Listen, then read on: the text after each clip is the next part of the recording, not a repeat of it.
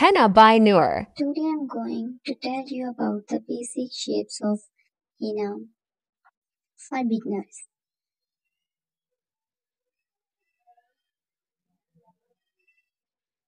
So first of all, first rule is line and the second is hems. And the third one is dots. And the fourth one is frills. Fifth one is inverse vines. Sixth one is drops. And the last one is seven, that is circle.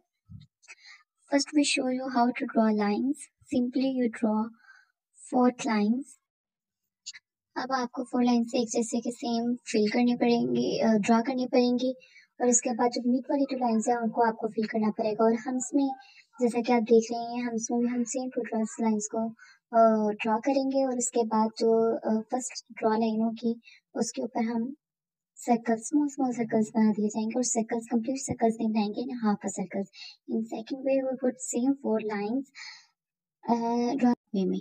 Next आ जाता है third dots में हम एक simple सी line लगाएँगे। और इसके ऊपर same distance से हम लोग डॉट्स पुट करेंगे। उसके बाद फिर आ जाता है सेकंड पे उसमें हम क्या करेंगे? सेम लाइन ड्रॉ करेंगे बट उसमें हम एक डॉट स्मॉल करेंगे ड्रॉ और एक बड़ा फिर फिर इसमें क्या करेंगे? सिंपल सी लाइन ड्रॉ करेंगे और उसके ऊपर एक और सिंपल सी लाइन ड्रॉ करेंगे और उसके ऊपर स्मॉल सर्कल्स पुट करेंगे इन हाफ़ पे फिर उसके ऊपर थोड़े से बिग सर्कल्स हम लोग ड्रॉ करेंगे बट हाफ़ सर्कल्स ड्रॉ करेंगे और उनको थोड़ा सा हैवी शॉप करने के लिए हम उसके ऊपर दोबारा डबलिंग करेंगे।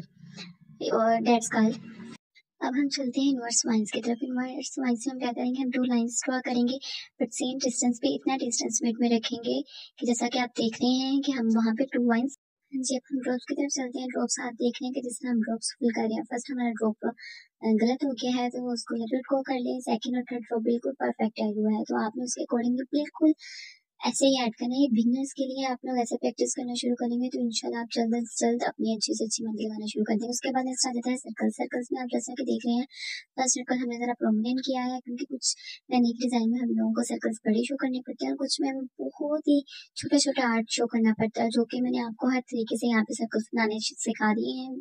कि आप इस तरह बना सकते हैं। Thanks for watching my video thanks a lot keep supporting